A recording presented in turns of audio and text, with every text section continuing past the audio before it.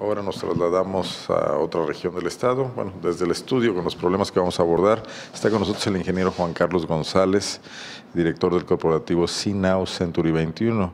Ya hemos hablado de que el desarrollo de un eh, fraccionamiento, de un desarrollo inmobiliario de esta empresa en San Miguel de Allende está enfrentando eh, pues a la presidencia municipal en este momento enfrentando decisiones gubernamentales que impiden que, se, que culmine este desarrollo tal y como fue planeado. Juan Carlos, gracias por estar aquí de nueva cuenta. Muchísimas gracias por la invitación y bueno, pues a todos los este, televidentes, a todos los que están en este medio, pues nos este, da mucho gusto volver a estar aquí con ustedes. ¿Qué pasa con, con, este desarrollo? Recuérdame el nombre del desarrollo. Quinta Real, San, Miguel y Quinta Real Santas Marías. ¿Cuántas viviendas hay en San Miguel de Allende? En total, eh, los dos eh, desarrollos son 4.682 unidades. ¿Y ahorita en estado de suspensión, eh, las ventas cómo se encuentra? No, ya, ya son dos desarrollos totalmente al 100% vendidos. vendidos. Así lo hemos platicado. Están entregados ya sus propiedades a los compradores Incluso ellos tienen en posesión los, los terrenos. No fincado aún. Eh, sí, ya hay algunas construcciones, ya hay algunas familias que viven en el desarrollo, este, y pues bueno, eh, se sigue todo el proceso, ¿no? Está ubicado en las afueras de San Miguel de Allende. ¿Cuántos kilómetros? Esto está a 10 minutos de la zona centro, prácticamente, y a 15 minutos el otro desarrollo, a 10 y 15 minutos. Bueno, y, la situación actual con, el presidente municipal, hemos platicado ya aquí, eh, incluso nos habéis comentado de una asamblea que van a hacer en el centro de la ciudad, un poco ahí para manifestar la gravedad del problema, ¿no? Sí, eh, eh, la situación es de que nosotros cada año tenemos nuestro informe de avances de los diferentes desarrollos. En esta vez se eligió, porque hay un presidente de, propietarios de estos desarrollos, se eligió que fuera en el jardín principal porque se ha desvirtuado mucho de que estos desarrollos vienen a afectar en el tema de agua, en el tema de servicios a estos, a, San Miguel, de, Allende. Luego entonces este, se eligió eh, poder llevar a cabo nuestra asamblea ahí eh, solicitamos al gobierno municipal pues el apoyo y todas las medidas que sean necesarias porque pues son más de 5 mil compradores. Entonces es un evento masivo. mil familias? 5 mil familias. Entonces es un evento masivo donde bueno nosotros estamos preparando pues zonas de hidratación, este, que haya pues una ambulancia, que haya una situación pero ellos le han cambiado el sentido ahora este, haciendo, pues desvirtuando que es una marcha, que los estamos amenazando si ellos no asisten a, este, a esta asamblea, que no les vamos a escriturar, que no les vamos a terminar con los compromisos adquiridos. Y pues digo, finalmente yo creo que así no vamos a ganar nada. Lo que buscamos nosotros es el consenso y la conciliación entre iniciativa privada y el gobierno municipal, que podamos tener un entendimiento y también mandar un mensaje a la población de que realmente estamos atendiendo un problema de desarrollo, un problema de hacinamiento en San Miguel de Allende. Eh, se dice, dice, no, es que no hay agua. Bueno, San Miguel de Allende tiene... Que 5 mil casas más pueden impactar gravemente los servicios de la ciudad, ¿no? Sí, por ejemplo, San Miguel de Allende tiene 13 pozos, este, en el cual extrae 180 litros por segundo diarios. Eh, en esto Ah, le da servicio a 75 mil habitantes con esta extracción, pero nosotros no somos ninguna carga, nosotros traemos 47 litros por segundo en los dos desarrollos y ese no es un... En sus propios pozos. En los propios pozos y hay un proceso... Que, ya fueron recibidos por el sistema de agua. Hay un proceso de autobasto en el artículo 80 del reglamento del sistema de agua potable, pero pues que de alguna manera también dicen desconocer. Entonces, pues prácticamente el, el tema de nuestros eh, trámites, autorizaciones y todo lo que conlleva, los han desaparecido. ¿El diálogo con la autoridad está cerrado, está abierto con el presidente municipal en este caso? Mira, el diálogo de, con el alcalde, eh, yo personalmente estuve el viernes ahí en las instalaciones del gobierno municipal, invitando a regidores, al síndico, estuvimos dialogando con el síndico, explicándole la situación de, de nuestra asamblea y que nos permitieran pues continuar con, nuestro proceso para poder este, culminar pues, los, los avances de nuestro desarrollo. ya este, las mejoras de electricidad y de agua y de toda esta situación. Entonces, este, pues bueno, eh, todos dicen que sí, metimos los oficios, pero no nos contestan. Eh, hoy en día traíamos anunciando eh, la asamblea, detuvieron las unidades, aún teniendo permiso. Voceaban en eh, Voceábamos en, el, en, San Miguel de Allende, en las orillas, ¿no? Digo, sí se ve este, como un reto a la autoridad reunirle ahí 4 o 5 mil gentes en el centro, ¿no? Eh, pues, digo, supongo que lo tienen calculado, ¿no?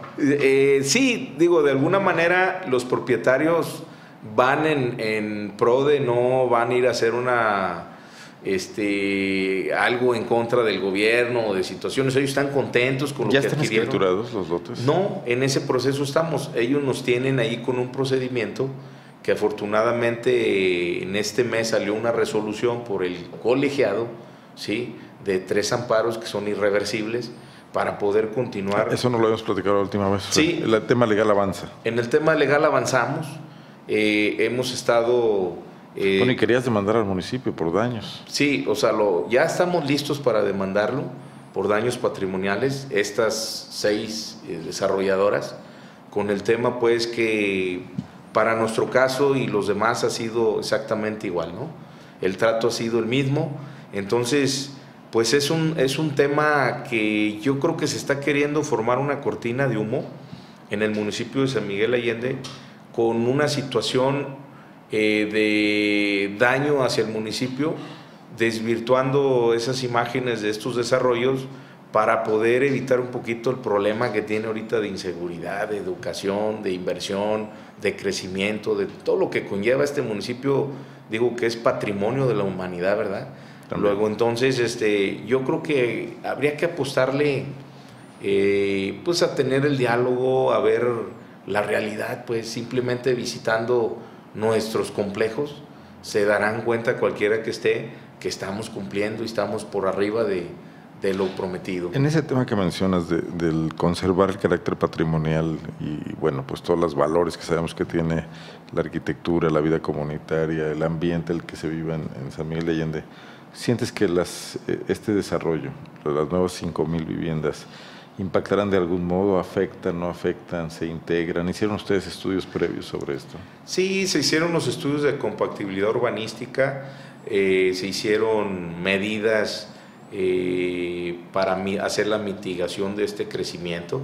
Se incluso las zonas se estudiaron en dónde debería de ser, ¿no? donde se tenga transporte, donde se tengan las extracciones y donde tenga sobre todo por pues, los servicios básicos ¿no? que se requerían para estos desarrollos. Ahora se ha dicho que estos eran terrenos ejidales, este, nunca han sido ejidales, son pequeñas Pero ese es otro problema, tú tendrás que resolverlo. Así es. también los de Toyota eran ejidales, ¿no? Así es. Entonces, ese no ha sido el tema. Entonces, lo, lo que nosotros vemos es eh, prácticamente el gobierno municipal sigue a no escuchar se argumenta mucho que esto lo aprobó el anterior alcalde, Mauricio Trejo, que de alguna manera habría habido, que es una objeción de tipo político, ¿no? Ahora gobierna el PAN, antes el PRI. Yo te quiero preguntar, ¿cómo votaron los permisos de, la autorización del ayuntamiento, por ejemplo, los regidores del PAN en la pasada administración? Precisamente es algo que hemos estado comentando. La fracción de Acción Nacional votó a favor de estos desarrollos, aprobó los usos de suelo, aprobó todo el tema que que se requiere en el ayuntamiento. De haber habido algo irregular, ese era el momento para oponerse. ¿Perdón? De haber habido algo no satisfactorio o algo que, no fuera con la ciudad, ese hubiera sido el momento para oponerse. Sí, ese era el momento, entonces se autorizó al 100%, no tuvimos ningún voto en contra, fue unánime los acuerdos. Luego entonces ahora uno de ellos, que es eh, ahora presidente del Consejo de Agua Potable, pues quiere estar desinformando la situación y no aceptando pues su, su responsabilidad de autorización. ¿Un ex regidor panista? Un regidor ahora es el presidente del Consejo de Agua Municipal, del Sistema de Agua Potable. Entonces, este, pues desde ahí la, la situación es de que no estamos haciendo nada oscuro, nada fuera de la ley. Existe la forma que hacemos nosotros los desarrollos, ¿sí? Este, está en la ley, tanto en la pasada como en la actual y pues son autorizaciones que se nos dieron pues desde administraciones anteriores, ¿verdad? Y que cumplieron su proceso. Ahora, bueno, pues el señor presidente se ha dado la tarea a, convocar a diferentes organizaciones donde se manifiesten en contra de lo que ya está establecido. Ya hay industria, ya está estos desarrollos, ya hay muchas cosas más. Yo creo que por ahí, yo creo que ya no le anda alcanzando un poco las cuentas al alcalde en ese sentido, ¿no? Entonces, más que de señalar, pues yo creo que hay que solucionar, ¿no? Este Pero si no hay diálogo, se ve complicado, Juan Carlos. Pues no hay diálogo, lo que queremos pedirles a los medios y aprovechando el propio este, de ustedes, pues que estén pendientes de esta reunión que vamos a celebrar nosotros. Porque el miércoles. El miércoles 13 eh, a las 4 de la tarde. No estamos nosotros más que tratando asuntos particulares del desarrollo y estamos poniendo pues arriba de la mesa el diálogo, convocando a las autoridades que podamos intervenir en el asunto y que se puedan dar cuenta que ya tenemos hasta familias viviendo ahí. Ah. No son desarrollos que no cumplen las características, son desarrollos con todas las necesidades que se tiene en cuanto pavimento, en cuanto redes hidráulicas, el tema de agua. Entonces, invitarlos a, que estén pendientes de este evento porque pues ahorita el espacio no nos lo han contestado, nos tienen bloqueados el tema, van a, sabemos que van a cerrar el jardín principal, este, no van a dejar accesar este, para ir al, tema. O sea, el libre tránsito. Estamos pidiendo que se nos permita tener un audio pues, para informar. Digo, no nos vamos a oír en 5 mil gentes ahí, este, a, capela está difícil, ¿no? Entonces, estamos pidiéndole la intervención del secretario del ayuntamiento, que ya hablamos con el síndico del ayuntamiento, le pedimos las facilidades y le decíamos pues que, que vamos a estar trabajando en una manera de informar, no es ninguna marcha, es una asamblea informativa de nuestros desarrollos. Y nos preguntaban, bueno, ¿y por qué en el jardín y no en los desarrollos? Bueno, pues este, el señor presidente ha hecho público que él está para recibir a toda la ciudadanía y se ha trasladado al jardín principal a tratar la problemática del municipio. Porque a ustedes no. Porque nosotros no, lo estamos convocando a él y decirle, oye, haznos favor de si no puedes acompañarnos, que nos mandes una representación y muestres tu posición como gobierno, ¿por qué no? No se las han confirmado.